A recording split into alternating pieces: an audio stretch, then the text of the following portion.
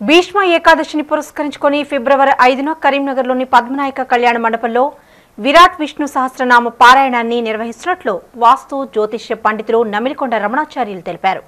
కరీంనగర్లోని శ్రీనిలయంలో ఇందుకు సంబంధించిన పోస్టర్ను ఆవిష్కరించారు. ఈ సందర్భంగా ఆయన మాట్లాడుతూ లోక కళ్యాణార్థం మానవాళి సుఖ సంతోషాలతో శాంతి సౌభాగ్యాలతో జీవనం సాగించేందుకు ఈ కార్యక్రమాన్ని నిర్వహిస్తున్నట్లు తెలిపారు. ఈ కార్యక్రమానికి జిఆర్ స్వాములు వేద పండితులు అధిక సంఖ్యలో హాజరవుతారని తెలిపారు. ఈ కార్యక్రమంలో బండా సత్తయ్య తాళ్ళపల్లి హరికుమార్ గౌడ్ కాంతుల అశోక్ రెడ్డి పాల్గొన్నారు.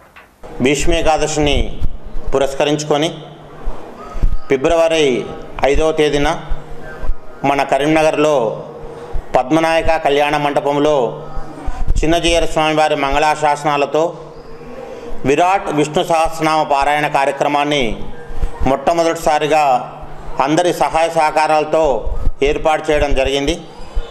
ఫిబ్రవరి ఐదో తారీఖు బుధవారం రోజున సాయంత్రం మూడు గంటల నుండి రాత్రి తొమ్మిది గంటల వరకు ఈ కార్యక్రమం జరుగుతుంటుంది.